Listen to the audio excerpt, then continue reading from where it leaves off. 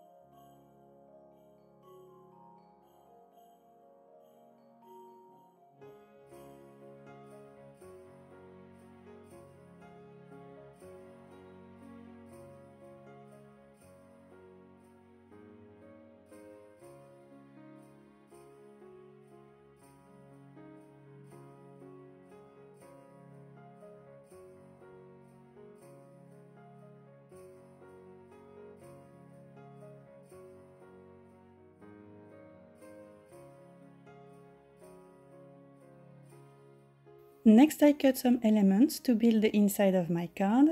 I used the shutter card die set to cut those pieces, but I ended up using the main panel only.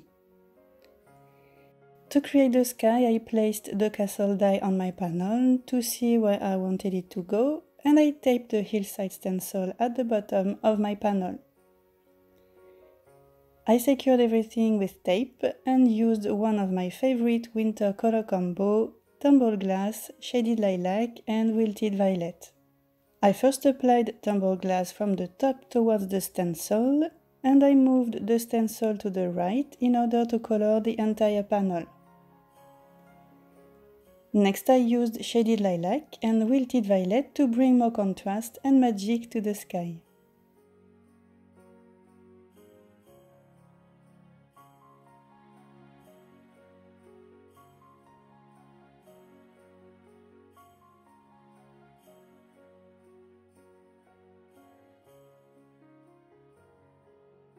Once I was happy with the blending, I took the hillside stencil again, taped it on top of the sky section, and I created a hill border using tumble glass with a tiny bit of blueprint sketch.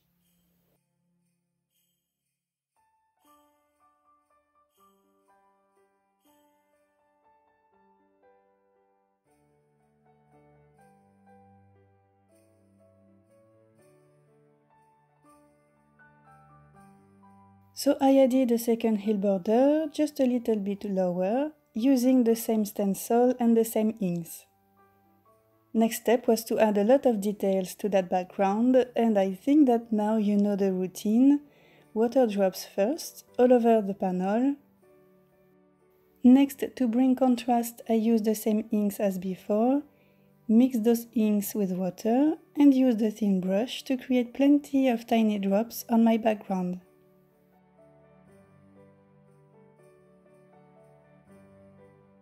And last but not least, a winter wonderland always needs sparkles, so I used some liquid stardust to create a super sparkly background. I set the panel aside to dry and moved on to the front panel. I cut a large stitch 4 bar rectangle out of a dark blue pattern paper and I started by cutting a window out of this panel using the smallest die from Stitched Dens. Off screen I colored a piece of cardstock using the same inks as before and attached my panel on top using foam squares. I attached my window panel to a second dark blue rectangle and then I added the floor and the baseboard at the bottom of my front panel. And next I moved on to the fun part, which is sticking all the cute images to finally see the scene kind of come to life. And you know that I love to make busy cards and to create stories with my stamps, so using the shutter card die helped me to do it, because a large panel means that I can stamp and color a whole bunch of images.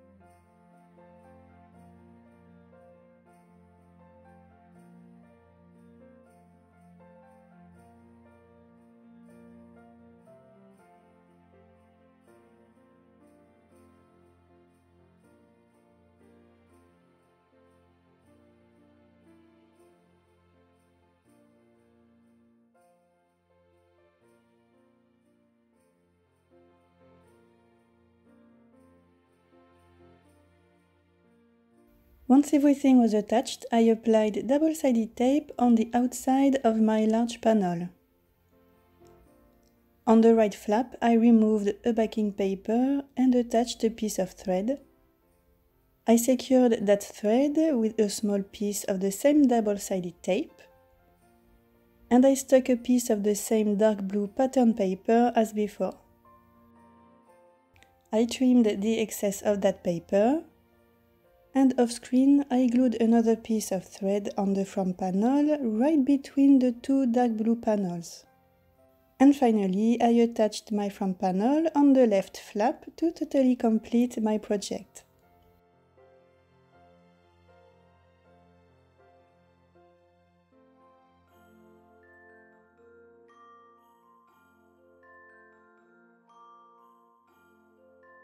Finally, I used a white gel pen to make the images pop and I tied a bow to close the card. And when you open it, you enter a magical winter wonderland where you can meet a princess and her prince, tiny fairies, a wizard and his dragons. Thank you so much for watching. I will see you very soon. Bye!